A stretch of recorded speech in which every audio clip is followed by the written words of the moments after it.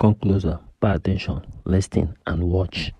If you wake up in the morning, pray to God. Observe your premises before you leave. Imagine what could have happened to this man if he didn't observe the helmet before he leaves. Jesus!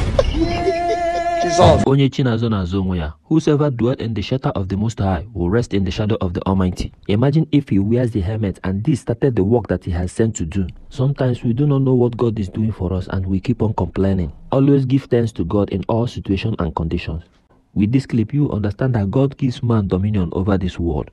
Have you asked how these engines are being prepared? Look how little the engineers are in this crankshaft. They look like ants. I consider this the biggest ship engine in the world. Man built it, man controls it. It has almost everything that car engine has. The difference is that car engine is small while this one is big. I'm wondering how the radiator and the kickstarter will be if it has one. Of course, it will have. The fire rescue truck that has two heads in China. It is called double-headed fire engine. This truck has reverse, but in some emergency situation, you don't need to reverse. You just come down and start with the other engine. Rate this truck in the comment section.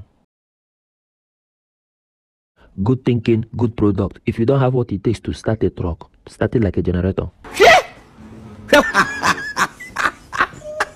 now that you have seen them, hope you like them. Tell me the one you like in the comment section. Share this video. Corner up.